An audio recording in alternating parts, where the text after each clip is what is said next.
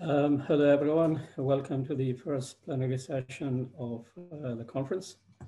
And we are delighted to have uh, Dr. Robin Murphy with us, uh, who will be talking to us about a very interesting uh, topic, uh, which is also pretty timely, actually, as far as the theme of this particular conference is concerned. So before I um, hand over to, to her, I'd like to say a few things um, about her. So uh, for, um, uh, I'm sure all of you know her very well, uh, but yet again, Dr. Robin Murphy is the um, Raytheon Professor of Computer Science and Engineering um, at the Texas A&M University, a TED speaker, and an IEEE and ACM fellow. Uh, she helped create the fields of disaster robotics and human robot interaction, deploying robots to 29 disasters uh, in five countries, including 9-11 World Trade Center, um, Fukushima, the Syrian boat refugee crisis, Hurricane Harvey, and the uh, Kilauea um, volcanic eruption.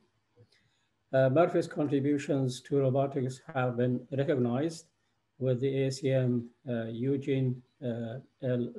Uh, Lawler Award for humanitarian uh, contributions, a US Air Force uh, Exemplary Civilian Service Award Medal, the AU VSI Foundation's Al Aube Award, and the Motohiro Kisoi Award for Rescue Engineering Education, uh, Japan.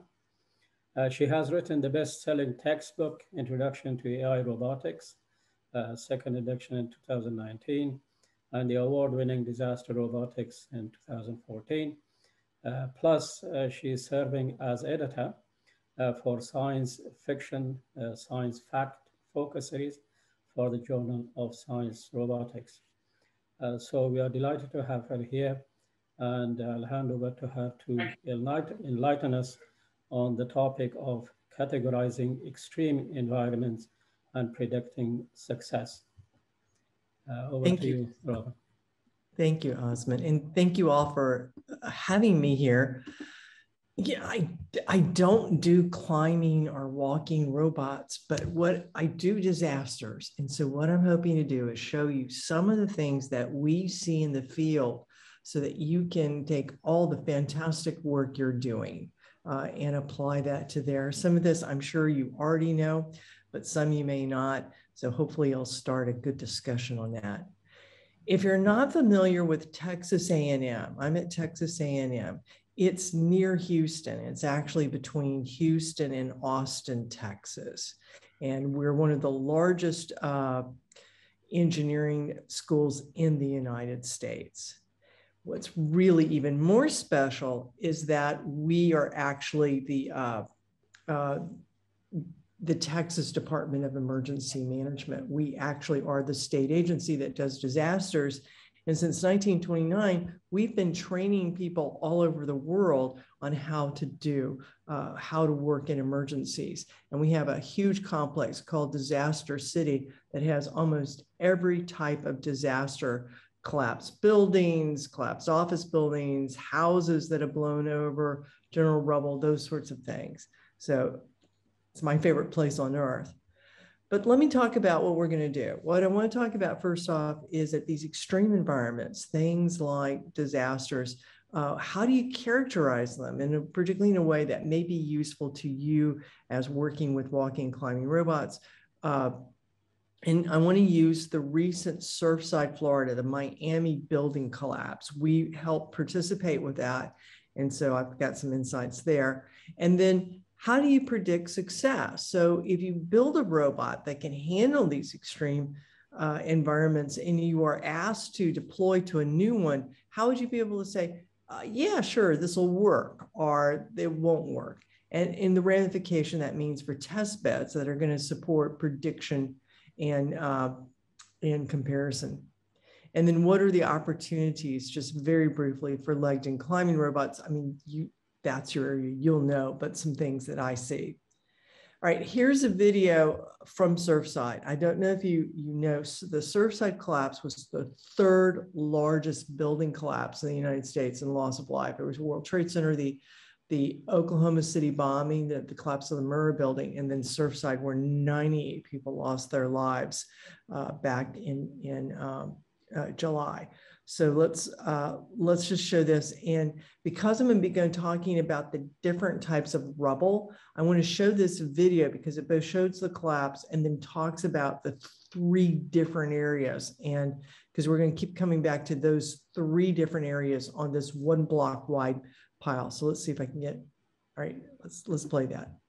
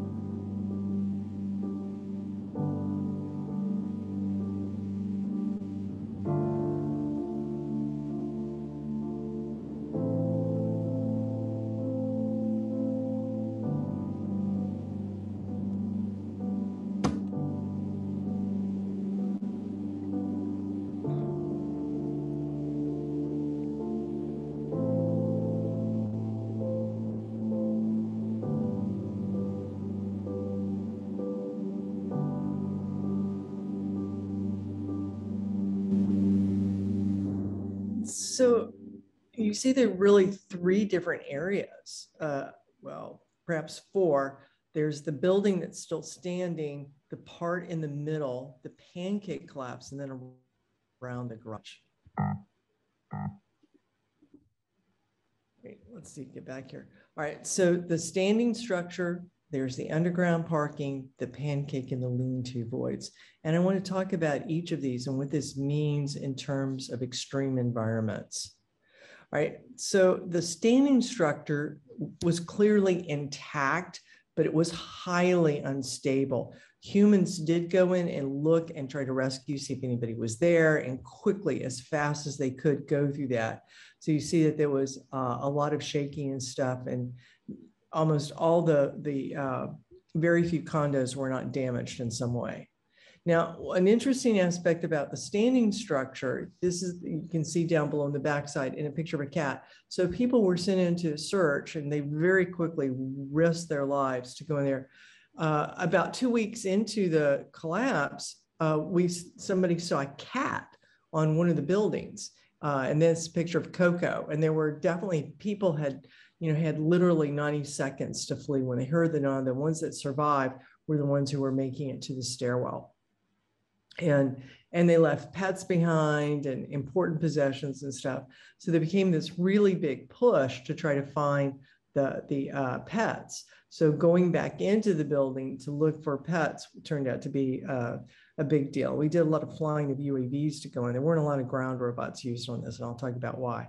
Now, here's the underground parking garage portion. You saw that was what was the pool deck and had those punch through columns.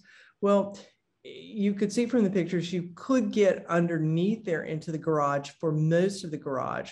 And humans did and could partially search it, but they didn't spend a lot of time there because it was the collapse happened at 1.30 in the morning. There's not a lot of people over there. And of course, when you're racing against the clock, you want to go where most of the survivors are. And that's going to be in the standing structure or the, or, uh, you know, the other ones. Now the pancake collapse, is a pancake. Literally, there's only a few centimeters of spacing between the layers. There's no human access. You're walking around the top. You're hoping to find a void where the, the pancake, those slabs of floor have uh, somehow miraculously been enough space for a human to do. But the one where you're really going to find, and we had two indications of trapped survivors that they couldn't get to in time, and that is this lean to collapse. And you can see it's very dangerous there. It's uh, there are some voids that a person might have been able to crawl in on their belly to go look for, but it was just way too dangerous. And in fact, they were thinking that the lean-to collapse, all of that kind of angle was actually holding up the uh, standing portion of the structure.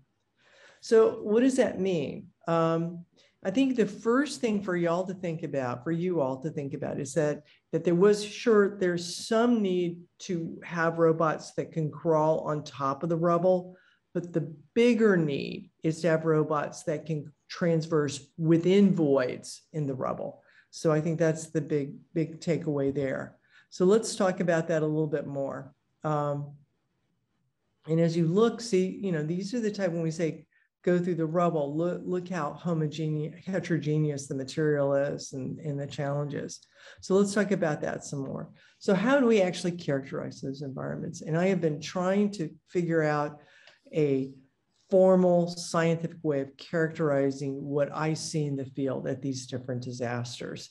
And the, the, the big publication on this is the book from MIT Press, Disaster Robotics. So for me, I see that for the environment, characterizing it, I typically think of it as scale. I mean, is the robot actually going to fit into the smallest part of a void? And then there's this idea of regions that the voids may have different areas with different properties within them. And then traversability. Uh, will the robot be able to actually move once it's there? And if at all possible, I want to try to develop dimensionless numbers like the Reynolds number or the Stokes number, because that makes it easier to compare different types of robots or different types of environments. So let's go back and look at this in terms of robotics. Uh, mostly, was, this was a huge use of unmanned aerial vehicles, uh, only a couple of uses of ground robots, and those were in the garage area. Now, if in the standing structure, this would have been fine for human-sized robots. There was a lot of clearance in there. Uh, if we look at the underground parking, again, a human or a dog could fit in there. If we're talking about the pancake, we're talking about a very small snake robot, such as the ActiveScope camera from Japan. Uh, but you can think of a, a rodent or an insect or a live snake being able to get in there. And in those lean-to voids, if you were if you were an animal, something along the lines of a, a dog or a ferret, particularly, I love ferrets. The idea that they can be snakes and they can be, you know, legged uh, creatures at the same time. Uh, but that they the voids are very irregular. All right, so that's great, but let's be more precise because of course, legged robots come in different sizes. The voids are unpredictable in size. And so for me, the questions are, will a robot that works in one of these void spaces work in another one? And will a smaller version, if you have a great robot that's working, can you just shrink it, you know, come up with a smaller version to work in that more restricted space? And if so, what size would you make it be? Uh, and then finally, you know, if you're given a void, will the robot work and will it work well or will it struggle? So the first thing that we've done is look at this idea of scale. And we've tried to create a dimensionless number to rate the size of the environment to the agent. Now, if the agent's a human, let's, let's talk about a human. A human has a character, characteristic dimension. And we think of that as usually their shoulder width. And that means that if, if, uh, if I can always turn, if I've got enough shoulder width, I can typically turn around in an environment and crawl back out. So what we say is that if, let's start at the, the right, it, habitable, or, habitable or exterior areas are where the environment's characteristic dimension is at least two times larger than that person's characteristic dimension, their shoulder width. And if it is, there's, there's no problem. They can move around freely in that environment. A restricted mobility area is where they can still fit, but it's less than two uh, widths. And that is what the Occupational Health and Safety uh, administrations all over the world call a confined space. You can crawl in, but you can't turn around. So you have to crawl backwards, which is very slow and means it's more dangerous should something happen. Okay, and then the third area on the left is granular, where you're actually burrowing into it. You don't have any clearance. The environment is actually smaller than you, and you have to do. And you see things like sandworms and such. And uh, Daniel Goldman over at uh, Georgia Tech has been doing a lot of work in that area. All right. So, you know, for, and if we think about agents as robots, we start looking at the robot scale. Fukushima, there, uh, the robots were things like the PackBots were working in an area that was human sized, so they could easily fit. But if we think about things like the Elios uh, UAV, that's built to go in very narrow areas. And actually, with that cage, built to go into things as big as only as big as its cage and use the cage to roll around in as it flies. And then we don't have any robots that I'm aware of that are capable of working in granular uh, regions. So think of it this way, you know, is that the uh, we start off with going from left to right, granular where the robot would have to be burrowing through, the robot uh, restricted maneuverability where the robot crawls or squeezes through, and then habitable or exterior where the robot can move freely. That's never thought of a good name for that, but basically it could be indoors or outdoors. It's just a very large area. So let's talk about this in terms of a legged robot. Uh, Spot wasn't used. Uh, the only robots I'm aware were used were uh, Bomb Squad F6A, uh, classic tracked one. But let's talk about if we were going to use Spot to go over the rubble. And we can see these are rough dimensions. So I'm not sure what the turning radius was. I assumed it was about 1.1 meter for it to be able to turn around, uh, which means for that. So outside on top of the rubble, no problem. It's clearly in that exterior where the environment is uh, much larger than the, uh, the agent. Now, if we start looking at putting it into the condo and searching inside the damaged part of the standing structure, uh, you, you typically take the smallest cross section and you start seeing now we're getting into the restricted maneuverability.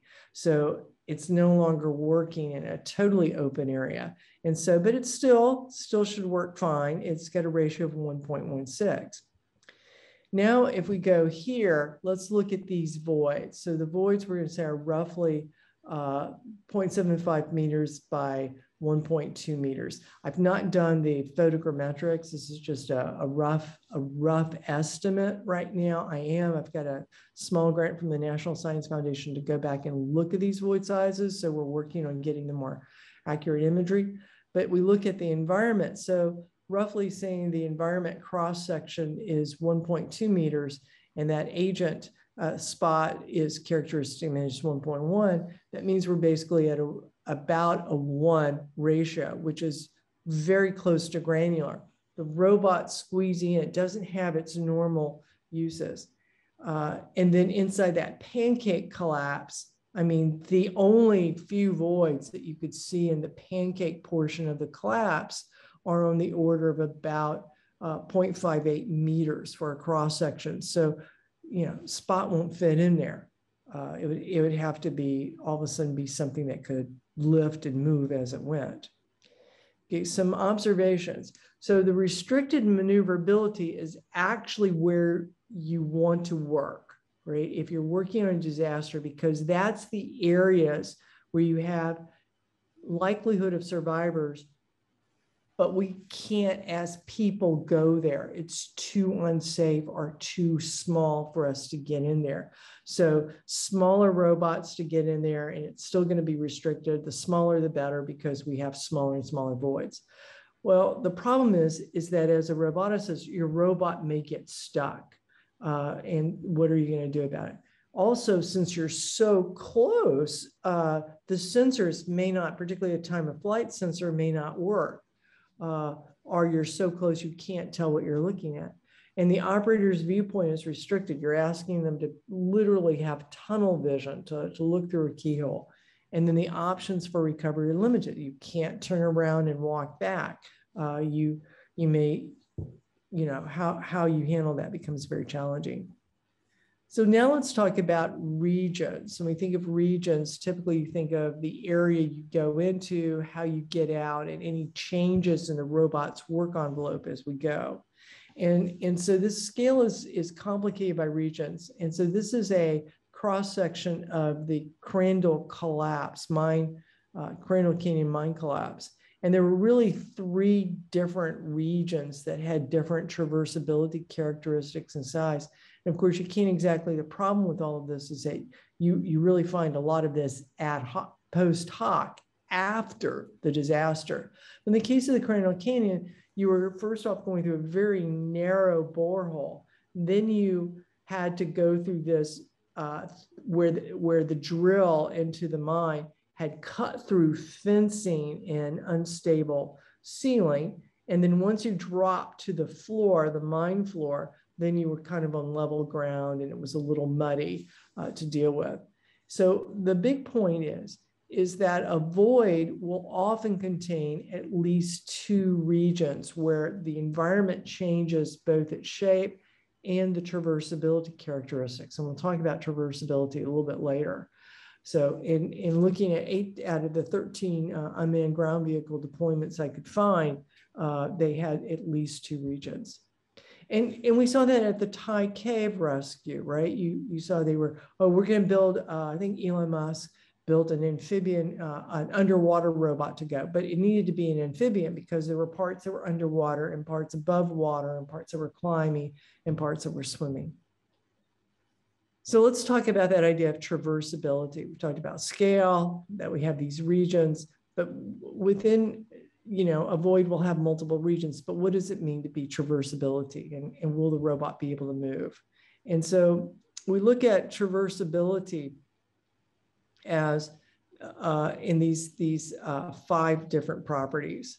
So one of the big properties of a void that we see that, that most roboticists don't account for is tortuosity, and that is turns, the amount of turns. And that is tortuosity is a, is a term from animal behavior.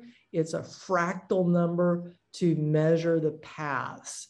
Uh, they use that in animals to say whether an animal's turning a lot or running straight. And so this is uh, some work with an unmanned aerial vehicle. It just shows that the turns at this, this aerial vehicle has to do is up and down and around. So it's not just a turn to the left or turn to the right. It can be a three-dimensional turn and it's the number of turns per unit distance. And so, you know, of course, turns are bad, right? Because you get more odometry area and there's also more potential for collu collisions because we have uh, blind spots. And just an example at Disaster City, you can see wait, If you're trying to do an unmanned aerial system through here, you're going to have lots of turns to get from one area to the other uh, and to avoid and to search and to just get there. And you can also see the same thing with the ground robot. All right, so now going back the uh, vertical uh, access and things, uh, verticality is really important in disasters because the rescue or the extrication effort, once you find a victim, which you normally find with a dog, not a robot, you're usually on top of that rubble working down, drilling down, or breaching down. And, and also, as you follow a void, voids are often that you're, since you're trying to work down, they'll have different verticality. Um, also, you're going to see surface properties. So one of the things about the DARPA Robotics Challenge uh, that many people were like, oh, look, we can step over these, these complex areas that are either concrete or wood. Well, we never get that. Okay, we never get concrete or wood. We get concrete with gravel, with sheetrock. Uh, things are not stable. So if you step on something, it may slip out from under your feet. Often, a, a building collapse is wet because think if you're in an office building right now, if that building collapses, the sprinklers are going to come on. And if it collapses all the way, all the water fountains and all the bathrooms, all that water goes somewhere. And if you've got a lot of concrete, which most commercial buildings do, that concrete, the, the, the rubble, uh, the, the pulverized concrete often becomes acidic. It becomes like a little muddy, slurry thing that actually starts eroding on your robots. So there was surface property. Another thing to think of is your obstacles and the severity of the obstacles, particularly as you're trying to categorize risk. So one is if you your robot bumps into something or hits something or moves something, is there a problem? Is that the in a nuclear operating power plant, that's one of their biggest fears is that a robot's going to touch something or hit something that it shouldn't and cause a problem that they can't fix. Another one is collision, how does that impact the robot? Particularly if you've got an obstacle that's large and easy, but if it's got sharp edges, the consequence of colliding with it is much higher than the consequence of hitting a wall. And then you've got the, the obstacles. There's can you perceive the obstacles? As I said, if you're working in that restricted mobility, maneuverability area, you may be inside the minimum distance for a time of flight sensor. Uh, also, if you're expecting the human to figure out what's going on, it's usually too close uh, or a natural viewpoint for a human to comprehend. So it's very hard to tell. I mean, looking at that, this is from tech, you know, can the robot go over that grading? How big is that grading? What are those, what are those structures in front of us? What happens? Another one is accessibility elements like doors, right? We remember this from from Fukushima, fairly famous uh, footage there. And so we call accessibility elements are generally architectural elements, things like doors or stairs. And the problem with the doors is that they can be closed. Uh, and you see there as well, have they might have a raised threshold. And in, in uh, apartments, the bathroom doors are often much, much narrower than the front door. So the doors can be of different sizes. And of course, we all know about stairs. And then another thing accessibility is that sometimes going back to the responders, they'll drill holes, uh, they'll, they'll core into the concrete trying to, to see if there's a void down below. So that's an accessibility element. And you've got to think about those. Now, if you were just thinking about human sized robots, you can kind of put this scale of the region going from left to right uh, with the increasing traversability going from bottom to top. So you can see a granular area uh, typically is going to, the human just aren't going to be able to get in. And that's usually going to be your pipes, shafts, or very, that. If you look at the restricted mobility areas, uh, there, people can get in with special training or procedures. They may be repelling, they may do tunnels, uh, they, they may be wearing a lot of equipment. And then the exterior areas, that's kind of normal uh, movements. It's built for that. So if you look that in terms of robots, relatively small robots are the only option for the, the more we move toward granular areas. But robots can be similar in size to a person or uh, a dog in the restricted mobility area, but they've got to be more efficient than humans because humans can already do that job. They just made up there. And then in general, you wouldn't use robots for a disaster for anything that, that a person can easily get through unless there's just extreme safety constraints like the radiation at Fukushima. So again, that restricted mobility becomes really important to be able to do that quickly. I mean, where the robot moves faster than a human. So that's the big takeaway there that somewhere in this area is where we really need more robotics 3D, the high verticality, uh, the ability to work in more confined spaces. right? So here's another way to look at that. Um, and we can see the ramifications for how we test. So one of my graduate students, Xuesu Xiao, now Dr. Xuesu Xiao at uh, George Mason University, did an analysis of snake robots. I know it's snake robots, not, not walking uh, or climbing robots, but I think that's probably true with, with the literature in general. You know, they found 20 different test beds to test 12 different snake bots, reported into 31 papers, and not a single one of those test beds was actually very useful for comparing different robots. Uh, it was all about, hey, look, I proved my robot does really well for this situation. And the second concern was they were only predicting uh, performance for very benign conditions. They weren't predicting performance for extreme conditions.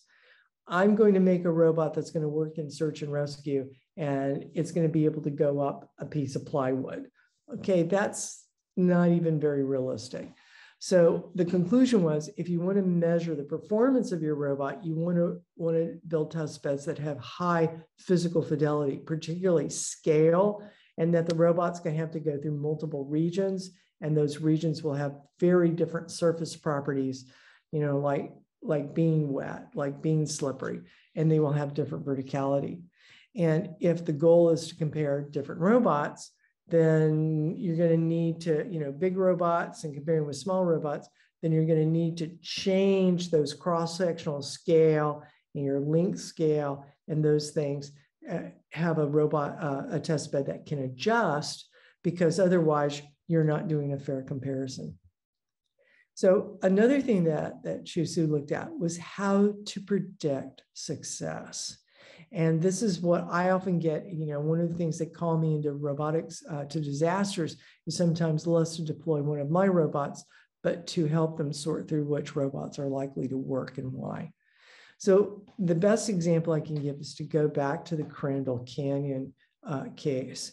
And we found eight different areas where things could go wrong. And almost every single one of those areas was was a point of failure during the, the, the 10 day operation where robots failed. So, one thing you probably think of is that what we see in the literature is typically what's the risk? And forming that risk is the probability of completing the path. Well, the risk is typically figured only from the, the state.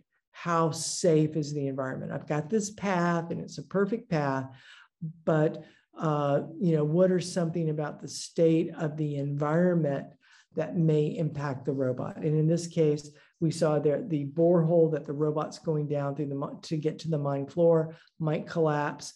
Uh, there might be lots and lots of water, so the sensors don't work as right, uh, and that it just has uh, the ceiling itself could collapse. Or when it lands into that pile of drilling mud, the sensors get covered. Another one, though, is, and this is what uh, we see is not well captured in the literature, is what's the risk from taking an action? So anytime I move that robot, I may be, I can, may have a set of choice of actions, some of which are optimal for a path planning standpoint, but impose more risk. So I want to avoid the ceiling fencing if I if I can, which I couldn't uh, because that's the only way you could get down there. But it might snag on the fencing, or it might get stuck in the drilling debris if it's turned too hard, or if it's in, if it's working in a muddy area, a track, these are track vehicles, a track may come off. And then finally, if you're working with tethered robots, which a lot of times for power and communications, you'll have a tether. And if you've got a lot of verticality, you're actually repelling. Then you have the history of the traversal. The tether may tangle or break because you've now put so many, you know, edges and going around so many obstacles and corners.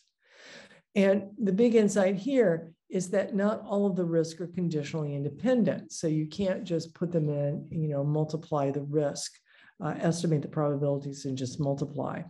And instead, what he looked at doing was is that you have uh, you have some that are independent and some that are dependent.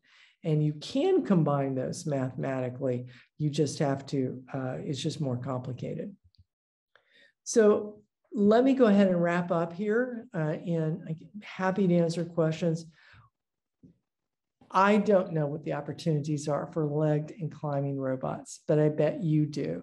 But some of the things that I see as we try to look at those very hard areas is, is hybrid mobility. One of the things is that it's, it's, it's not either or, you're either doing walking or climbing. It's you're, you're walking some parts, you're crawling in some parts, you're climbing or repelling in others. You may be wiggling or doing the breaststroke with your legs to push you forward. So it's hybrid. I think hybrid mobility is going to be there. And speaking of that, uh, autonomous gait and mobility control. As you go from these different regions, the gait you start out with may not be the correct gait for the next area you get to.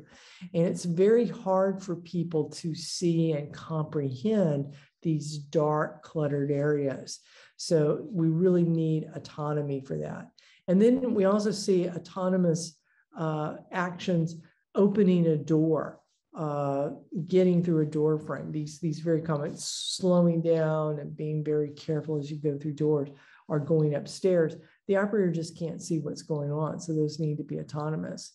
And remember, if you're developing a, with the idea that you're going to develop a complete usable robot for extreme conditions, please, please, please be aware it has to work. It has to be a complete usable robot. It, no one cares that you've got fantastic joints or this one part. The whole thing has to work.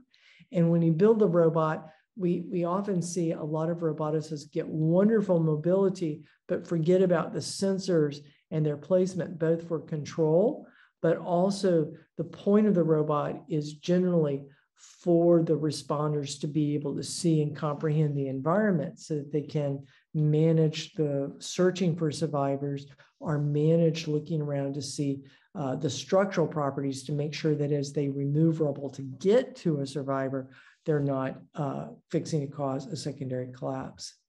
So that's what I have. Uh, we'd love to work with you. There's lots of possibilities where we're going to have an event at Disaster City where you can bring your robots to crawl and climb and walk over the different types of rubble, the different types of collapses.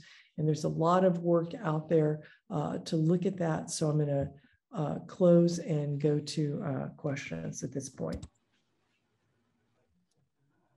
Thank you very much. That was a very inspiring and interesting uh, presentation. So um, yeah, I think uh, there are lots of opportunities we see with the uh, mobile robots. Uh, so um, including, of course, walking, climbing, and um, flying robots, which will be another level, of course. Uh, so I'm inviting now colleagues uh, for questions. So when you think about climbing, uh, as you climb over like that standing portion of the structure, you know, wouldn't that have been great to climb up into the building? But remember, you saw those railings around on one side, the side that was still standing. You got to get over and through the railings and then get in there. So you, you can get up the wall, but then you've got these transition points. And if you can't handle the transition points, it, it won't work. So I think that's that's a that's another set of challenges there. Sure, sure. And I think one of the other points which you noted, which you pointed out, is the sensing mechanism, I think, which is very important as well uh, in, in these scenarios as well. Uh, I do, also, of course, um, like the idea of uh, hybrid mobility uh, because of the various sort of challenges which you have in a certain disaster environment. Uh, of course, you can't do with, with one kind of mobility, but it has to be a combination, I think, of, of different types, which is really well, typically, I've not been a fan of legged robots for disasters because right. most of the work has been, oh, look, we can climb over rubble. You know, people can climb over rubble. Normally, that's not the big win. We did see at Surfside uh, a robot used to climb over the rubble uh, that needed to place a wireless repeater to enable some of the UAVs to work and for connectivity for the for the different responders the robot was an F6A, one of the classic um, bomb squad robots, but it, it's a bit top heavy. And so it couldn't climb the robot uh, rubble. They actually had to put it on a crane and move it to the center of the of the rubble. So so now I'm saying, okay, yeah, we need to work more on on climbing rubble, and I believe many of the legged robots that y'all have developed would have worked for that much better. Sure, sure. Okay, any questions?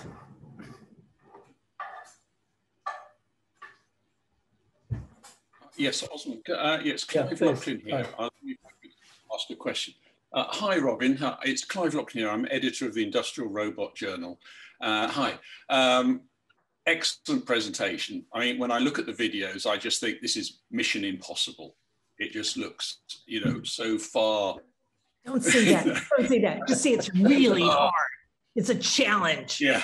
The stretch yeah, goal. Don't give up. Yeah. Please don't give up. I wasn't trying to make you give up. No, no, no, no, no, no, no, no. Uh, I appreciate that, and I must say, it looks, it looks, uh, it's, it's uh, a bit ironic that what actually looks like to me like one of the most fun areas to work in robotics is actually as a result of of disasters, which is, um, you know, a bit a bit of an irony there. But I've got a question. Let's assume that somebody comes up with a super duper hybrid robot that can scurry into all of these little places within the building. Uh, what you're trying to establish as I understand it, is where are people uh, within the building? Once you, your hybrid robot has gone inside the building, how can you tell where it's got to? Yeah, that, that's, that's generally the problem. So Clive, let me answer this a long way and, and kind of do a mini tutorial. So normally you find people with dogs. Dogs are excellent at telling you there's somebody alive. What they can't do is tell you where you're you know because the scent think of that big rubble pile the dog made it the way the air is flowing through the scent may be over here but they're there.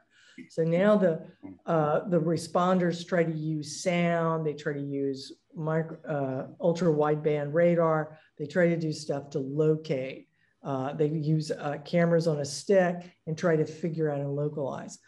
So you know about where they are but you've got to better that. So you try to send a robot down now at that point that you've got a survivor, you're trying to get down, and, and you're right. What happens at this point is almost always, in fact, I can think of no case for a building collapse that you didn't use a robot for the rubble, the restricted maneuverability that didn't have a tether. So basically, you're doing it. The uh, and I used to be a technical search specialist for Florida Task Force Three. You're uh, in the same way you do with a, one of a borescope. You're just you're looking. You're saying, "Hey, I've let out about a meter of tether, and I went straight down. So let me sketch that on my rough sketch, and then let me do this, and let me do that." And so that's very uh, rough, and inaccurate, but that's kind of a seat of the pants of how they do it. And since they're moving, uh, they get a rough idea of how deep and where it is. And at the same time, the cameras, you've got a structural engineer looking over the shoulders going, oh, the slab's there. We can't put, we, we can't, oh, that's really braced. I can come in from this side and more quickly extricate and move stuff without causing collapse.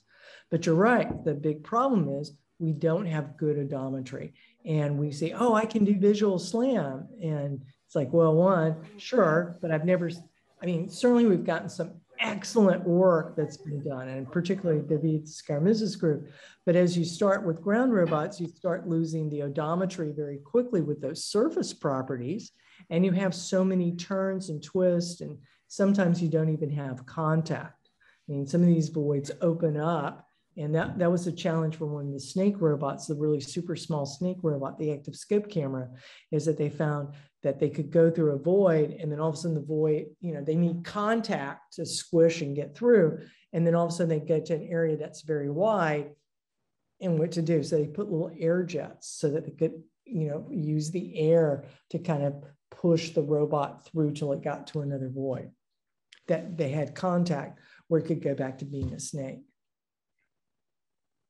Hi, thanks. If I might add in an extra question, uh, let's let's assume that you've got these hybrid robots um, and they're all absolutely fantastic and they can do a job, um, but they're specialist robots. How do you quickly get those to a disaster site? How how things be geared up to uh, to get the specialist equipment to a site in a meaningful and useful period of time? You know, there, there's a couple of answers to that. The, the, the quick glib answer, Clive, is you don't. I mean, the, the first three days of the disaster are the most critical. After about 52 hours, your survivors typically are dead. They're no longer survivors. So, what you have from the regional, uh, our state, our provincial teams, search and rescue teams get called in, the, the specialists are called in. What you have on site within about four to 12 hours is really what you're using during the critical part. So if they don't have it within 12 hours, they don't have it. Now, specialist equipment, you're flying it from Japan. I mean, I looked at some of this stuff and said, oh, the active scope camera, it's in Japan. It'll get there in three days. So uh, we could bring it in, but it'll just mostly, you know, at that point, showing it off, not not really expect it's it's lost its timing to make an impact. What we find is what they have, what the local fire and police departments have, or the regional teams have, is what they bring. That F6A, terrible choice, top heavy. I wouldn't, you know, as they found, they can't really put it over something that's not level. It's built to be uh, where where it's level ground. Didn't work but it's what the police at Miami-Dade Police Department had. So they it was mm-hmm. easy to bring. So we need to get these specialized robots available. Well, the only way we make them available is make them not specialized. That what we find the UAVs that were being used are used for structure fires, but they're used for photography. Everybody's very familiar with them. They're ubiquitous. The majority of ones we use were $1,000. You, you order them off of Amazon. So everybody's familiar with them. They're in common use. There's lots of apps. People trust them. They've used, you know, it's all good. Whereas specialty robots, not so much. So the trick is, can, what are the applications for robot ferrets? You know, what are the applications? You know, we're seeing Spot right now. Spot can be used for everything. Okay, uh, we're but if it is, if that's true, then, then that would make it easier to use Spot or a mini miniature version of Spot in Rubble. Sure. Fine, thank you. Thank you very much. Okay, Evgeny Magid, you have a question? Uh, dear Robin, it's always a great pleasure to listen to your lectures. And as always, it's a great and very interesting lecture. And I've got the following question. Uh, do you use simulations prior to real robot runs? You know, I rarely use simulations. We will simulate things like paths and sometimes behaviors to see that those are all working there. But for nothing, um, it's so hard to simulate field conditions. Uh, in the United States and also RoboCup Rescue uses the NIST test course and again, that, that gives you scale type of tests, but not all the not all the other things, the traversability, and a lot of times not a realistic high fidelity of the types of regions you get. And so it makes it tough to do a computer-based simulation. That's why I think these test beds are important, but the test beds need to have a higher physical fidelity I see. Okay. And may I ask another question about using of robot operating system ROS in the software of your robots? Do you use it? Uh, some of them we use ROS. Some of them we we are constrained by what the manufacturer does, right? You know, uh, uh, iRobot, Endeavor, Teledyne FLIR, whatever it is this week, uh, they don't. They have typically not used ROS, right? Uh, some of the other ones do use ROS. So I'm not seeing the, the uh, ROS or not Ross as a uh, problem or a disadvantage. Uh, it's more the physicality of the robots. Thank you very much. Any more questions? I have a question. so are there any devices which uh, are like a aircraft black box, which you purchase and plant on your question. Well, you Surely the best way to do this would be to just uh, systems like these that you carry with you. they transmit a signal. Maybe they use GPS or whatever to uh, send a signal saying, "Here I am." Are there any such devices? Oh yeah, yes, yes. In, in fact, the um, uh, uh, responders carry carry that. Uh, if you're working in a confined space or rubble, it'll actually sense when you, you know, kind of like your, you know, smartwatch, it'll let you, it'll start beeping and trying to send a signal to indicate that this person's not moving and they need to, you need to do a status check on them to make sure they're okay.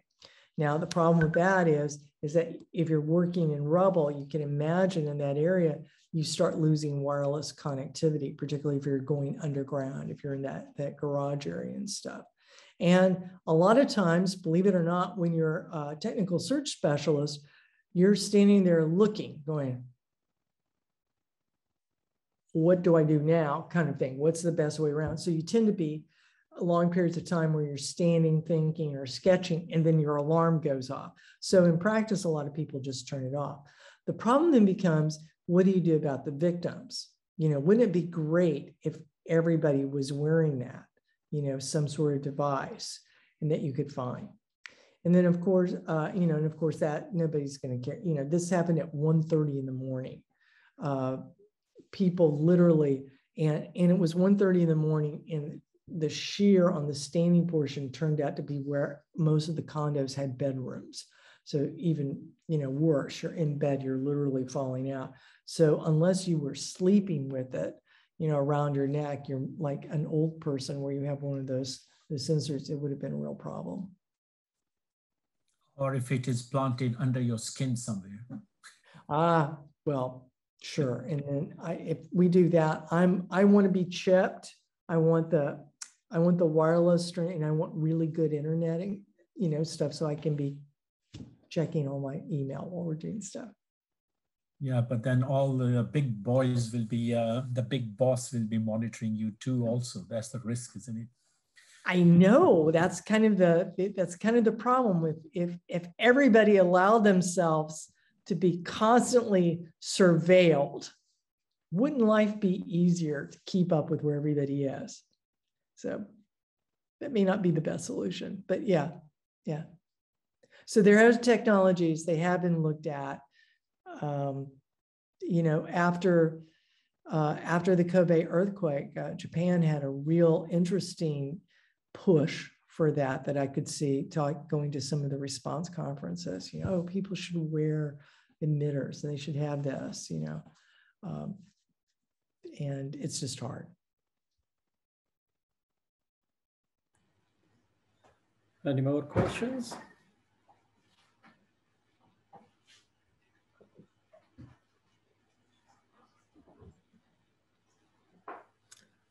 It looks like um, I've got, I think they've asked the question. So thank you very much, uh, Robin.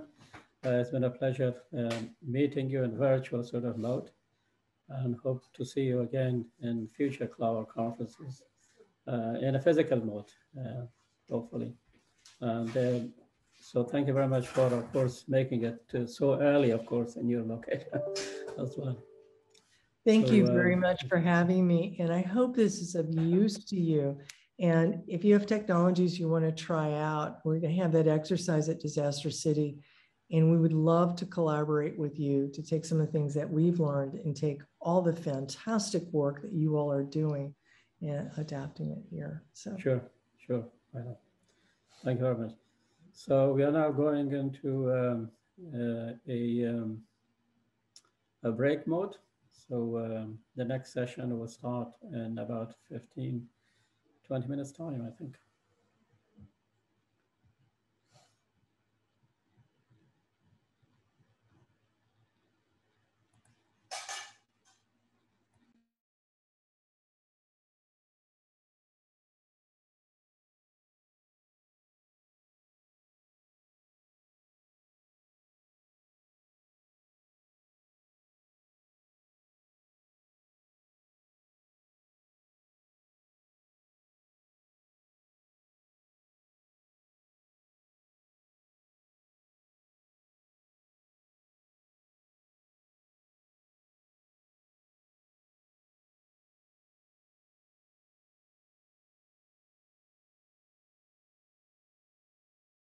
GPS or whatever to uh, send a signal saying, here I am. Are there any such devices?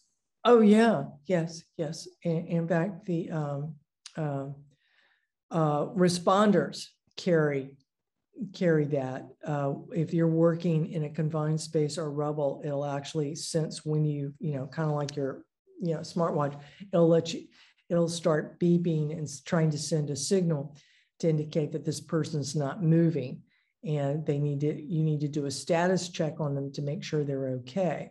Now, the problem with that is, is that if you're working in rubble, you can imagine in that area, you start losing wireless connectivity, particularly if you're going underground, if you're in that, that garage area and stuff.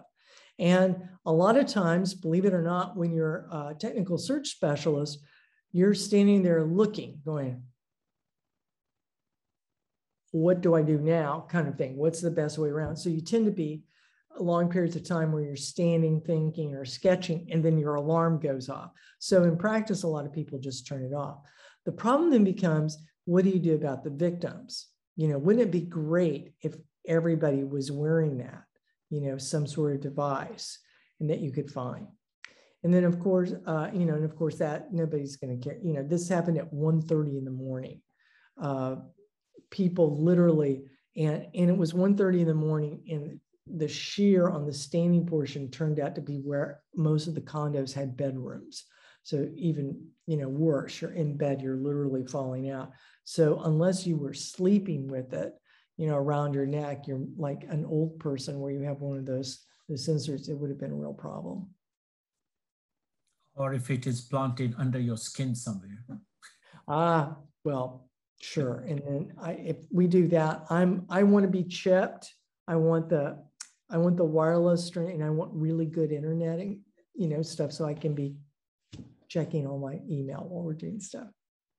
Yeah, but then all the big boys will be, uh, the big boss will be monitoring you too. Also, that's the risk, isn't it? I know that's kind of the that's kind of the problem with if if everybody allowed themselves to be constantly surveilled, wouldn't life be easier to keep up with where everybody is? So that may not be the best solution, but yeah, yeah.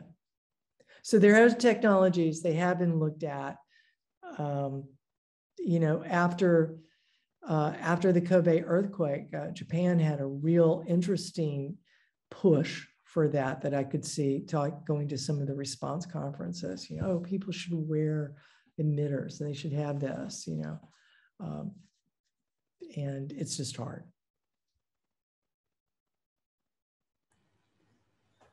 Any more questions?